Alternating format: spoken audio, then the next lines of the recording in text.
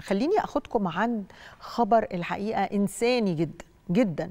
وخبر بيؤكد على قد إيه كده أنت وراك دولة وراك بلد. يعني ساعات الأسرة يبقى عندها مشكلة كبيرة وما تبقاش موجودة في مصر. ويبقى مشكلة ما حدش يقدر يحلها قريب صديق لا عايز دولة تقف جنبه. ده اللي حصل تماما مع ياسين.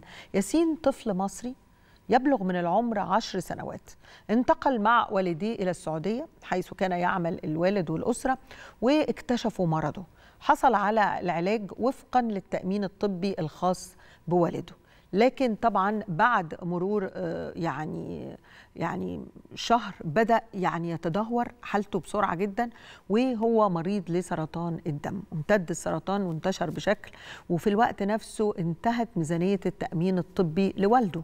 أسرة ياسين كانت وقتها قدمت استغاثة لوزارة الهجرة وعلى الفور تحركت الوزارة وهنا ده اللي بقوله لحضراتكم إنه أنت تبقى حاسس إنه لأ أنا عندي بلد في ظهري. أنا مواطن بشتغل في بلد أخرى بلد عربي وعندي بلدي عندي دولتي اللي هي ممكن هي اللي هتحس بيا هي اللي هتتحملني هي اللي هتقف جنبي. تواصلت الحقيقة الأسرة مع وزارة الهجرة وتم التواصل أيضا مع وزارتي الصحة والطيران وتم نقل ياسين إلى مصر بطائرة خاصة مع توفير علاجه بالكامل على نفقة الدولة. خلينا كده نروح في هذه المداخلة نطمئن على ياسين ونكون كمان جنب والدته ويعني نطمن عليها ونطمن عليهم ونشوف إيه أخبار ياسين. دكتورة آيات خليفة مساء الخير.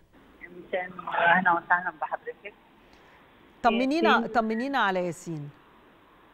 يا رب لك الحمد. هو مواصل يعني فعلا زي ما حضرتك قلتي إن إحنا ورانا دولة ودولتنا قوية جدا إن هي استجابت للاستغاثة وإن هم جابونا حقيقه حقيقه يعني إن إحنا دولتنا أقوى دولة في العالم. طبعا. بالنسبة لأي حد بره مغترب دلوقتي أي حد لما بيحصل له أي حاجة خلاص الكل ابتدى إن هو يفكر لا أنا هستغيث بدولتي. من ساعة ما موضوع ياسين حصل جت كذا استغاثة بعديه إن فعلا الناس اطمنت إن البلد واقفة طب كلميني كلميني يعني. دكتورة ايات كلميني أنت يعني فكرتي على الفور إنه الحل إن أنا أستغيث بالدولة بتاعتي.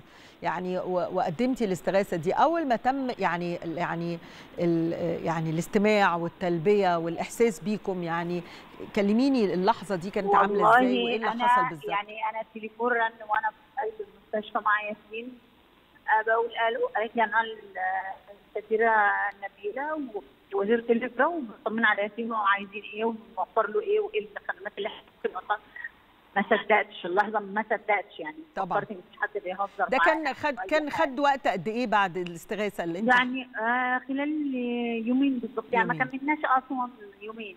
يعني يوم وساعتين مثلا.